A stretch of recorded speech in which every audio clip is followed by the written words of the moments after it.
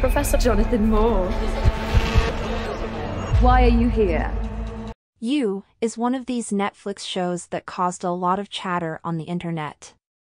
Netflix describes the show as a psychological thriller depicting a brilliant male bookstore manager navigating love and life in his own twisted mentality. You is originally a thriller novel by Caroline Kepnes, published in September 2014. The novel has been translated into 19 languages and was adapted later into the television series that we know and love or love to hate. In case you haven't watched the series before, here's a super quick recap. Joe Goldberg is a bookstore manager in New York who seemingly loves the sound of his own voice. Joe meets Beck, an aspiring writer, then we have all those meet cute scenes then to only find out that Joe is an obsessive stalker who has his own ideas about love. Long story short, Joe kills a bunch of people including Beck's boyfriend and best friend. Beck starts finding out things about Joe including a former lover Candace and she starts doubting that Joe killed her then she finds a weird box of teeth and other creepy stuff, yada yada yada later Joe kills Beck. In season 2 Joe leaves New York and heads to LA and changes his name to Will. Joe meets Love, yes that's her name, oh, and let's not forget her brother's name 40, Joe and Love meet while she works at a high-end grocery store named Anavrin. Yada yada yada meet cute, bunch of people are killed in bomb. Love is a killer too. She also kills a bunch of people and by the end of the season she tells Joe she's pregnant. Season 3, Joe and Love move to the suburb with their baby Henry. The show somehow turns into a domestic drama with Love being the main psycho who also sleeps with a minor by the way, yes you heard right.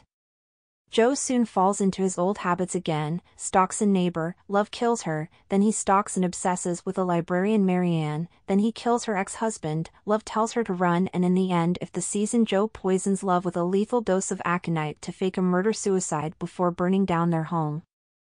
The last time we saw Joe in season 3 he was on the run in Europe after killing his wife and leaving his baby, Henry, at a neighbor's house season 4. The season is somehow split into two halves, we've only had the pleasure of watching the first half for now and waiting for the second one early March. This season is you, but not quite. Yes we have Joe, yes he goes by Jonathan now and yes he's in another city be it London. But this season plays out as if none of the previous seasons took place. There was no mention of love at all, we barely heard Joe remembering Henry. The whole premise of a psychological thriller is somehow diminished if not at all changed. The story takes place as said in London and Joe is a university professor now, somehow the background check didn't raise any flags. The new identity is supposedly given to Joe by a hitman who somehow wanted to help him out of the goodness of his heart even though he was hired by Love's family to kill him. Joe helps a married woman while she was being mugged. He asks her not to mention his name to police due to visa issues. The woman Kate lives across the street and Joe works with her and her husband at the university. Joe hates her husband and always thinks he's a jerk. Somehow Joe is dragged into their high society club as a thank you for helping Kate. Drinks too much and the next day wakes up to find Kate's husband's body on his dining table, dead. A series of killing among those rich club members occur, they doubt Joe then he finds out that it's Rhys, another character that seemingly only Joe can see. Few theories come to mind after watching the first part of the season, one is that it could be that Joe has finally reached to the point where different aspects of his personality are now so different that he's basically suffering from split personality.